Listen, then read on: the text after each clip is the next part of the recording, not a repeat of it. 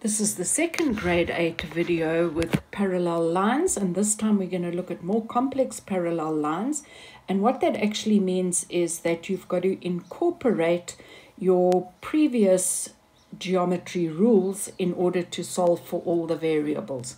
So remember what we said, as soon as you identify parallel lines, know that you have two pairs of equal angles and you have one pair supplementary angles.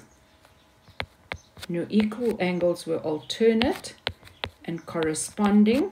The other thing you should notice is that we have a straight line here and we also have a triangle. So as you can see, there are lots of geometry rules incorporated in this one question.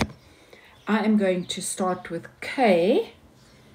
So how can I connect K to either 61 or 47? Well, if I look at the parallel lines, we can see that K equals 47 because this line is parallel to that. They're both connected to the parallel lines. They're on the same side of the transversal. Remember, this is the transversal. And so those are corresponding angles. So let's write that up. So we said 47 degrees equals K. Corresponding angles. Now I have to look at my parallel lines.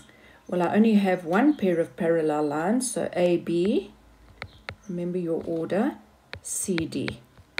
So now K equals 47. I go and fill it in.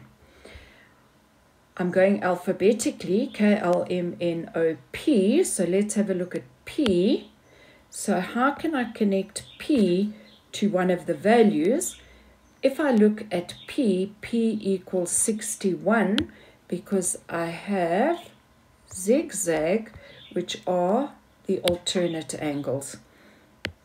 So P equals 61 degrees. Alternate angles I only have one set of parallel lines, AB parallel CD. This was not very smart writing it that way. I prefer to write the variables equal to a value, but it is not incorrect. Now I have to find n. So I could use I could use interior angles of triangles. So n plus k plus 61 will give me 180. That's one solution, but I am going to do angles on a straight line. So I'm going to say, describe the diagram with a plus statement first. These angles are on a straight line. So I'm going to say 47 degrees plus p plus n equals 180 degrees. A G angles on a straight line.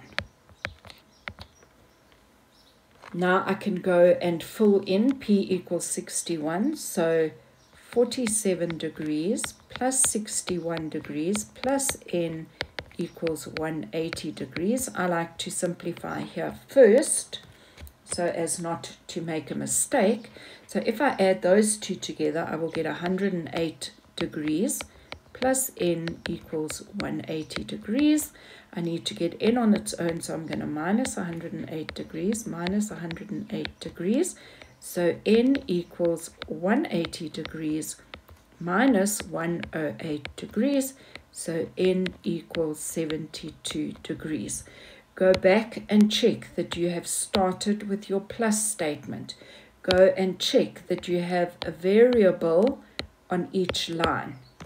And when you're happy with that, you know you have solved the rider. For more practice on this, chapter 2, exercise 2.9.